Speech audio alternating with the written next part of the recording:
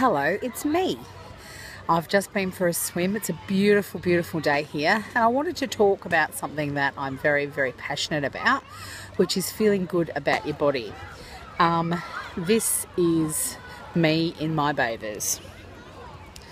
And the one thing that I wanted to say is that I'm not ashamed of how I look. I used to be.